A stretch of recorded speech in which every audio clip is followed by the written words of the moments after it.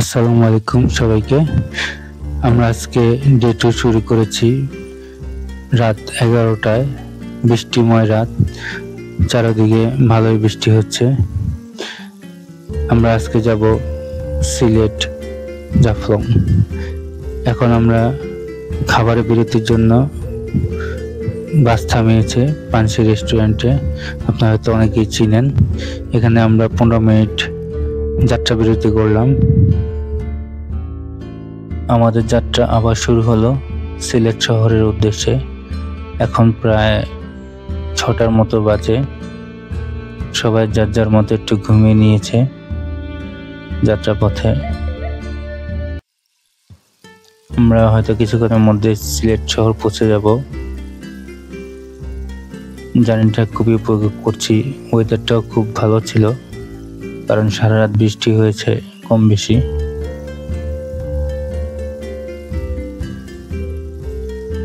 আমাদের বাসটি পানসি রেস্টুরেন্টের ঠিক অপোজিটে থামলো। আমরা সকালকার নাস্তার জন্য সবাই বাস থেকে নামছি। আমাদের নাস্তা করা হবে পানসি রেস্টুরেন্টেই। আমরা এসে এখন বসলাম। রেস্টুরেন্টে কিছুক্ষণের মধ্যে আমাদেরকে যেটা বলল, খিচুড়ি এবং চিকেন বা মুরগি দেওয়া। আমরা এখন রওনা দিয়েছি হজরত শাহপুরান মাজার দেখার উদ্দেশ্যে। যেতে যেতে খুব সুন্দর মনোরম দৃশ্য চোখ জুড়িয়ে গেল।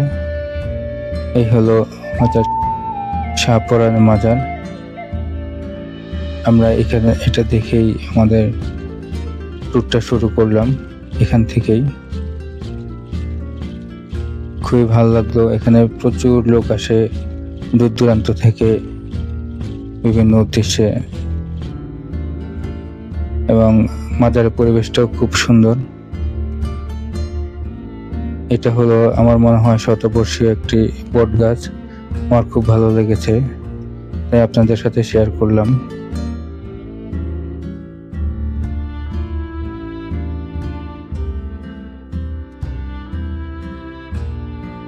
এখন আবার আমরা যাত্রা শুরু করলাম। সবার পছন্দের জাফলংয়ের উদ্দেশ্যে। যেতে যেতে আমাদের গাড়ি থেকে খুব মনোরম দৃশ্য উপভোগ করছি। দুপাশে শুধু পাথর আর পাথর। আপনারা সবাই জানেন, ইন্ডিয়া থেকে এই পাথরগুলি জাফলংয়ের এখানে পানের মাধ্যমে আমাদের দেশে আসে। এগুলি সংগ্রহ করে বিভিন্ন জায়গায় বাণিজ্যিকভাবে বিক্রি করা হয়। এখানে এসব ব্যবসারী বিভিন্ন দোকানপাট আমরা দেখতে পাচ্ছি।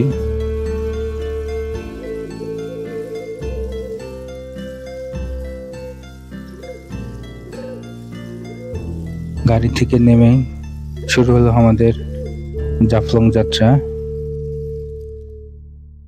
আমাদের পাহাড় থেকে নিচে নামতে হবে প্রায় এক কিলোমিটার পায়ে হেঁটে। দুপাশেই ছোট ছোট দোকান দেখা যাচ্ছে। দূরে আমরা যা দেখতে পাচ্ছি সবই ইন্ডিয়ার মধ্যে পড়েছে। এখানে বাংলাদেশ এবং ইন্ডিয়ার বর্ডার আছে। আপনারা সবাই জানেন। এখানে যা পাওয়া যায় বেশিরভাগই ইন্ডিয়ান পণ্যই। খুবই কম দামে পর্যটকদের জন্য ওরা সেল করে। আমরা এখন হেঁটে হেঁটে নিচের দিকে নামছি। সারা রাত বৃষ্টি হলেও দিনে কিন্তু ভালোই গরম পড়েছে। সবাই কম বেশি ঘামাচ্ছি। বাট আমাদের পরিবেশটা কিন্তু উপভোগ করছি সবাই। চারিদিকে শুধু সবুজ আর সবুজ, সাথে সুন্দর পাহাড়। যে কারোই মন ভালো হয়ে যাবে এমন পরিবেশে। আমরা যেদিন আসছি, সেদিন ভালোই পর্যটক আসছে। মানে খুব ভালো লাগছে সব কিছু দেখে।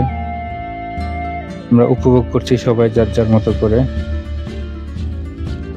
এখানে দুপাশেই ঠান্ডা পানি অথবা হালকা নাস্তার জন্য বিভিন্ন খাবার পেয়ে যাবেন। তো আমরা একটা তিন ভাগে নামতে হবে। আমরা এক ভাগ পার হয়ে দ্বিতীয় ভাগে আসছি। এখান থেকে কিছুটা আমরা জাফলংয়ের মূল স্পটটা দেখা যাচ্ছে। যদিও এখন বর্ষাকাল না, তাই পানি খুবই কম। তারপর ভালো লাগছে, সবাই মিলে উপভোগ করছি। ধীরে ধীরে সবাই নিচের দিকে নামছি। এটা হলো দ্বিতীয় স্তর। এরপরে এখানে একটি সমতল পরে আবার সিঁড়ি আছে। সিঁড়ি দিয়ে আরও নিচে নামতে হবে। তারপরে আমরা মূল জাফলং এ পৌঁছাবো। সবাই গরমে একটু কষ্ট পাচ্ছে, বাট খুবই ভালো লাগছে। যেদিকে তাকায় শুধু সবুজ আর পাহাড়। সারা রাতের কষ্টটা এখন আর কষ্ট মনে হচ্ছে না। আশাটা সার্থকই মনে হচ্ছে।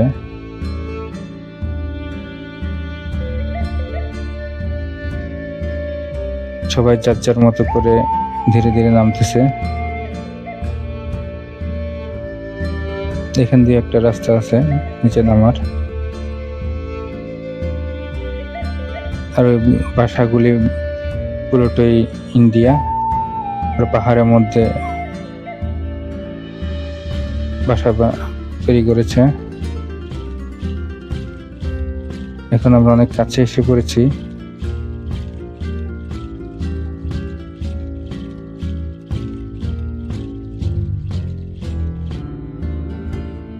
আমিও ধীরে ধীরে নামছি আর আপনার জন্য কিছু ভিডিও করছি। এই আমরা নিচে নেমে গেলাম। একটু সামনে বোট দেখা যাচ্ছে। আমরা বোটে করে ওপারে যাব। মূলত এখন বর্ষাকাল না যেহেতু, পানি খুবই কম, পানির স্রোতও তেমন নাই। তাই আমরা মূল উদ্দেশ্য হলো মায়াবী ঝর্ণা দেখা এবং যে যার মতো করে গোসল করব। এটা এখন মূল উদ্দেশ্য। তাই আমরা বোটের কাছে যাচ্ছি। এখানে বিভিন্ন টাইপের বোট পাওয়া যায়। কিছু আছে ইঞ্জিন চালিত, কিছু আছে মাঝি নিয়ে যায়। এই হলো ঘাট। এখান থেকে আমরা বোটে উঠবো।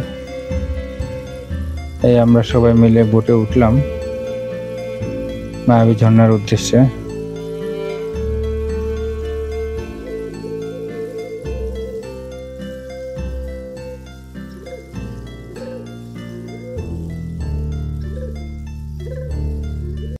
উৎসব মুখর পরিবেশে আমরা এগিয়ে যাচ্ছি। কিছুক্ষণ পরে নৌকা থেকে নামবো। পাঁচ থেকে দশ মিনিটের মতো লাগে এপার থেকে ওপারে যেতে। সবাই খুবই আনন্দিত। আমরা এখন নৌকা থেকে নেমে এগিয়ে যাচ্ছি ঝর্ণার উদ্দেশ্যে। মাত্র পাঁচ মিনিট হাঁটলেই আশা করি আমরা ঝর্ণার দেখা পাবো। এই সেই মায়াবী ঝর্ণা, কি সুন্দর, স্বচ্ছ পানি। আপনাদের দেখে খুব ভালো লাগছে হয়তো। উপর থেকে খুব সুন্দরভাবে স্বচ্ছ, পরিষ্কার পানি নিচে গড়িয়ে আসছে। সবাই মনের আনন্দে গোসল করতেছে। আসলে গত তিন, চার দিন ধরেই বৃষ্টি হওয়ায় ঝর্ণার পানিটা খুব সুন্দরভাবে উপর থেকে আসতেছে। দু সপ্তাহ আগেও নাকি পানি বেশি ছিল না। যেটা শুনলাম এর আগে যারা ভ্রমণে গিয়েছে বাট আমাদের কপাল ভালো যে আমরা সুন্দর একটা দৃশ্য দেখতে পাচ্ছি। দেখেন কত মানুষ এসেছে জনে গোসল করার জন্য। এই পাশে আবার বসার জায়গা রয়েছে। এখানে ঘণ্টা প্রতি একশো টাকা দেওয়া লাগে, যেটা আমার কাছে মনে হচ্ছে খুবই বেশি। আমরা দেখেছি কক্সবাজারে ঘন্টায় পঁচিশ থেকে তিরিশ টাকা। দেখেন, পানিটা কত সুন্দর, কত স্বচ্ছ। পুরো নিচ দেখা যাচ্ছে। পাথরের মাঝে মাঝে খাজে খাজে সবাই গোসল করছে এবং উপভোগ করছে ঝর্নার ঠান্ডা পানি। এটা আসলে বাস্তবে না দেখলে বোঝা যায় না। এত সুন্দর, এত ঠান্ডা পানি এই গরমে মন ভরে গেছে। এখন আমরা আবার ব্যাক করছি। ওপারে যাওয়ার জন্য। আমরা মূলত এখন ওপারে যাচ্ছি। ঝুলন্ত ব্রিজটা দেখার জন্য কাছ থেকে। আমাদের নৌকার জন্য ওয়েট করছি। নৌকা আসলে আমরা ওপারে চলে যাব। ওপারে এসে পড়েছি। এখন আমরা ধীরে ধীরে যাচ্ছি। ঝুলন্ত ব্রিজটা দেখার জন্য, যেটা আসলে ইন্ডিয়ায় পড়েছে, আপনারা জানেন। এটাও খুবই সুন্দর একটা দৃশ্য। ঝুলন্ত সেতুটা সবাই দেখতে চায়। তাই আমরাও একটু দেখার জন্য আগ্রহ নিয়ে সামনে যাচ্ছি। এগুলি পাহাড়ি ফুল।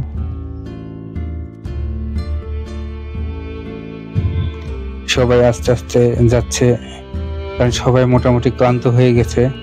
ঝর্ণায় যাওয়ার সময় এবং যে গোসল করে সবাই একটু ক্ষুধার্ত এবং ক্লান্ত, আমরা আরও কাছাকাছি চলে এসেছি। এখানে শুধু পাথর আর পাথর। আমার ধারণা বর্ষাকালে এই পাথরগুলি পানির নিচেই থাকে। তখন পানির স্রোত অনেক বেশি থাকে। এখন যেহেতু গ্রীষ্মকাল, পানির স্রোতটা কম, পানি কম, তাই পাথরগুলি বের হয়ে এসেছে। এই যে দেখছেন বিভিন্ন আকৃতির সুন্দর সুন্দর পাথর। সমস্যা হলো পাথরে হাঁটতে খুবই কষ্টকর।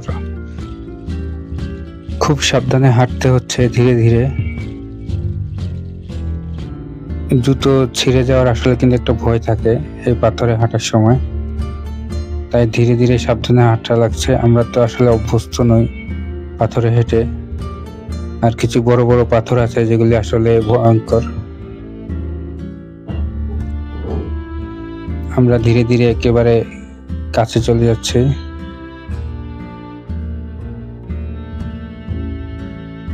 আমরা ঝুলন্ত ব্রিজের একেবারে কাছে চলে এসেছি। দেখেন কত বড় বড় পাথর।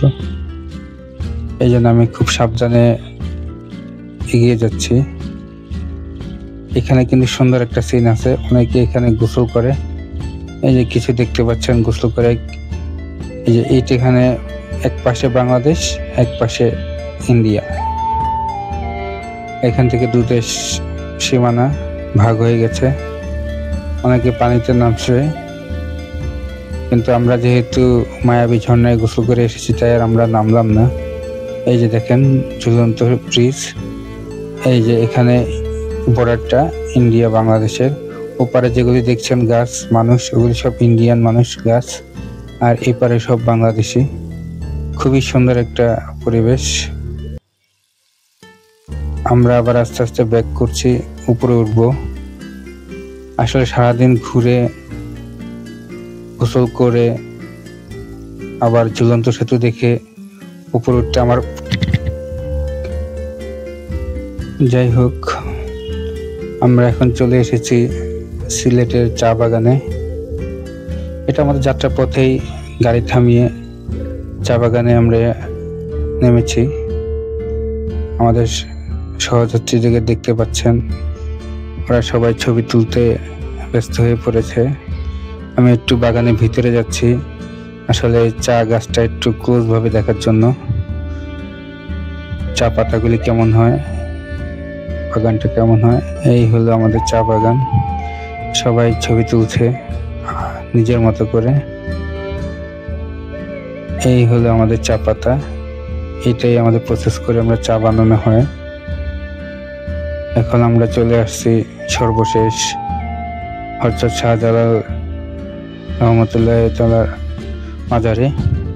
আসলে সন্ধ্যা হয়ে গেছে, তাই আমি বেশি আর ভিডিও করলাম না। আর ভিডিওটা ভালো আসছে না সন্ধ্যা হওয়ার কারণে। সারাদিন ট্যুর দেওয়ার পরে সন্ধ্যায় আমরা এখানে এসেছি মাজার জিয়ারত করার জন্য। এই হলো মাজার বিল্ডিং। দূর দূরান্ত থেকে দেশের বিভিন্ন লোক এসেছে মাজার জিয়ারত করার জন্য। খুবই সুন্দর একটা পরিবেশ এবং শৃঙ্খলাও খুবই সুন্দর। মাজারটা দেখে আসলে মন ভরে গেল। এই আমাদের আসলে ট্যুর